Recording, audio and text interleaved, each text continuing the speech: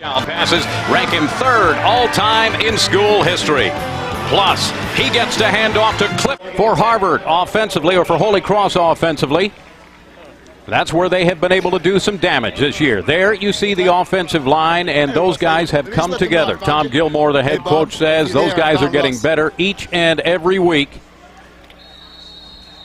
And the backs and receivers, John O'Neill, the quarterback, Gilmore says he is as good as you will see if he is on, but it is tough to be on on a day like today.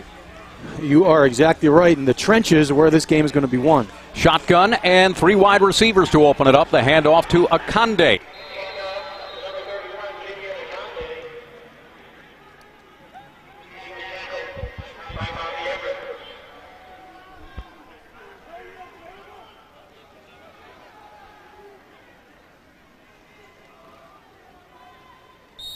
Bob, just FYI. Um,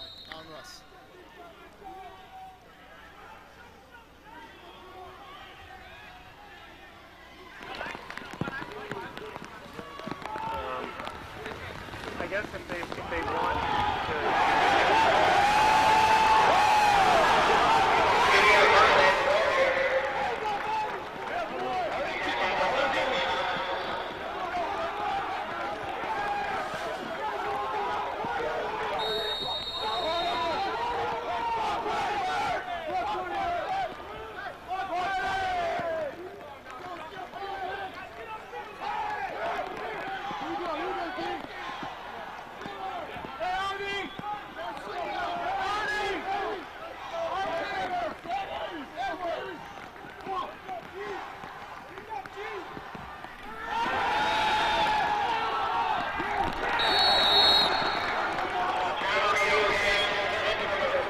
As is. Yeah. First and 10 from the 33 yard line. The penalty walked off. Holy Cross with wideouts to each side. In motion there is Sean Gruber. The handoff, Silva. Nice hole up the middle for Silva, and he's out close to the 40 yard line.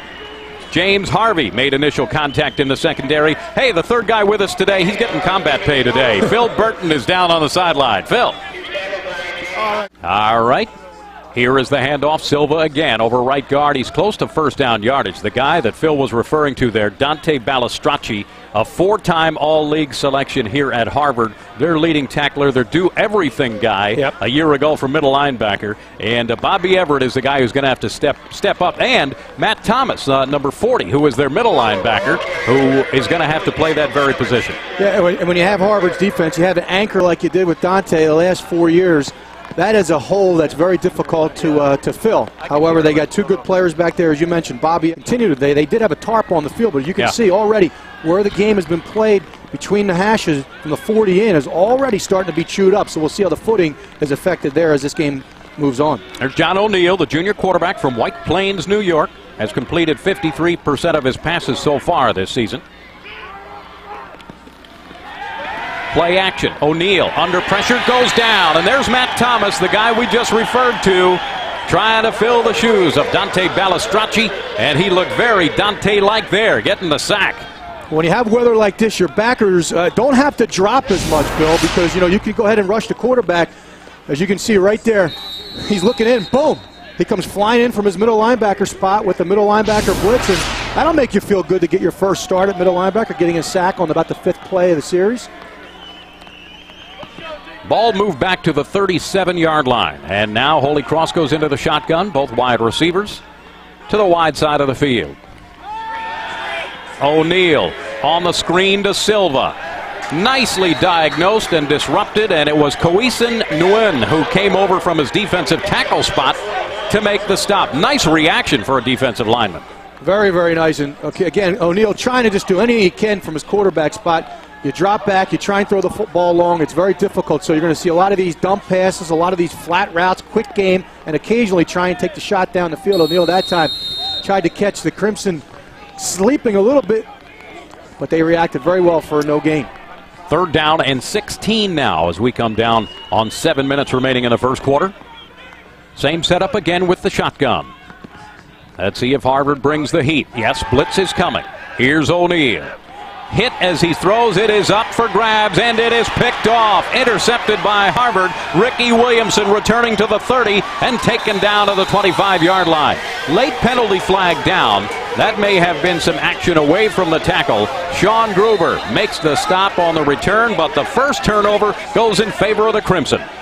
And you can see right there the weather. That ball went up for grabs. O'Neal tr- hit as he threw the football. But again, weather definitely a factor there. Ricky Williamson went up, caught the ball at its highest point, had a nice return, and Harvard now gets their second series deep in Holy Cross territory. And as John O'Neill throws the interception. John O'Neill looking for the wheel route, had a little bit of time, then he got pressure again, and there's your guy, Matt Thomas with pressure. And there's the INT, a nice return. You'll see right here on the right here on the bottom right. You'll Yeah. see right there. Now there, there's the penalty, Bill. If you could see that on time, and so the guys on the field. Let's see if Holy Cross can respond. Here is the pitch to Akande going around the right side. Knight blocked by his fullback, but the Harvard pursuit catches up to him at about the line of scrimmage on the play. James Harvey again playing run support, very tough from the secondary, and uh, Harvard's defense just all over that sweep. Yep, and here is if you're the offensive coordinator, Robert Griffin for the Crusaders, you're just saying to yourself, we got to move the ball. We got to get some first downs to try and swing field position a little bit because this is a lot like Bill when you're backed up in your own end zone. It's very difficult to take chances down the field.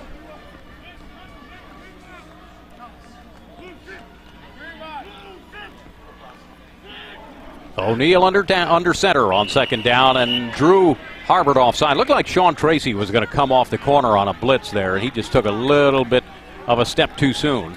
And the penalty will go against the Crimson, I believe, unless there was some kind of movement. Let's find out.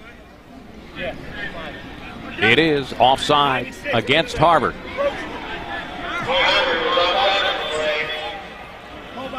This is where, Bill, you got everything. This is funny. You know, this is this type of weather where you just got to put it out of your mind.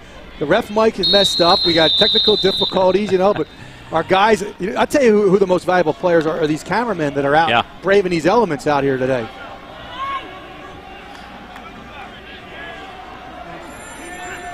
Look at that, four penalties on Harvard already for 50 yards in the first quarter of the game. Tim Murphy can't be happy about that. Here's play action. O'Neal throwing, has a man open, can't get it.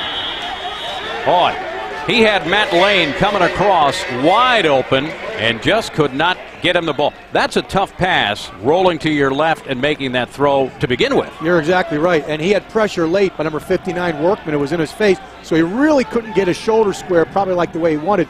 And in the weather today, you almost have to make a perfect pass, unless, of course, you come up with a circus catch like uh, Woodman did in that first series or second series for Harvard. So third down play, six to go for Holy Cross. Yep, there's. I think that's Griffin, the offensive coordinator there, barking out signals. Third down play.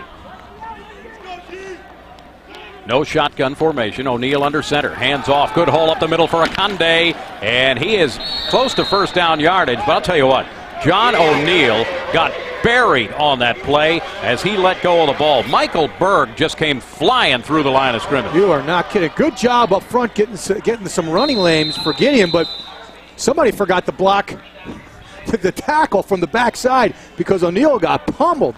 I mean, he really got hit. And Bill, we're seeing Akande a little bit more than Silva, which Yeah. we talked about in our opening. Akande missed a lot of last year because of his injury, but in 02 he was the Patriot League Rookie of the Year, so he's got some abilities up as well.